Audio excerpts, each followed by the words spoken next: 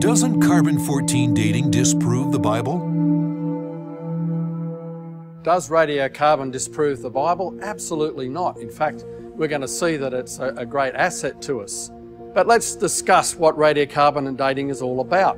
It's otherwise known as carbon 14 dating, and it is based on the carbon 14 atom.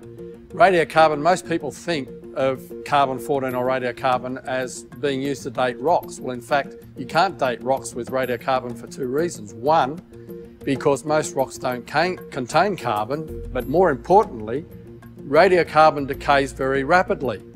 To give you, uh, put it in perspective, radiocarbon de decays so quickly that if every atom of the Earth was radiocarbon, within just one million years, there'd be no radiocarbon atoms left. It will all have decayed away, which is why geologists don't use radiocarbon to say date fossils, simply because the fossils they believe are millions of years old.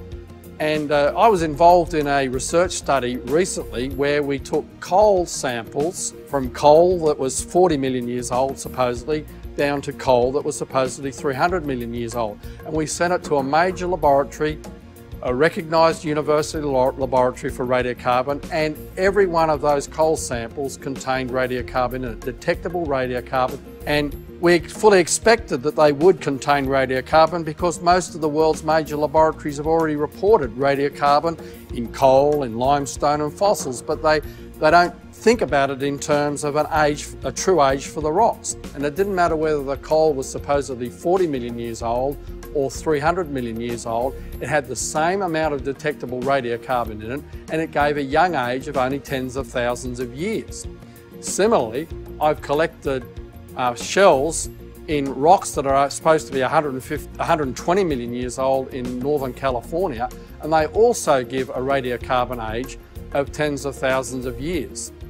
Now that makes sense because the coal was laid down during Noah's flood. It's plants that were fossilised in beds during the flood. So they all were fossilised, buried and fossilised in the same year-long event. So we'd expect them to give the same radiocarbon age. Of course, that radiocar those radiocarbon ages are based on the assumption that radiocarbon has always been produced in the atmosphere at the rate we find today. We know that the Earth's magnetic field was stronger in the past, which means that the radiocarbon production rate would have been slower in the past which means that those dates are highly inflated.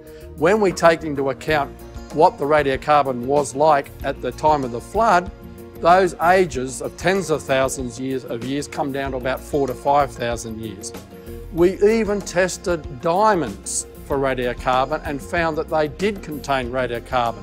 Diamonds are found inside the earth at very great depths and they are part of the initial makeup of the earth. So these diamonds give a young radiocarbon age, which implies that the Earth is, is very young. So in fact, when we look at the real hard facts of radiocarbon dating and the results that we get, we find that radiocarbon actually agrees with the Bible, confirms what the Bible has already said about Earth history, that the Earth is young and that was a global catastrophic flood.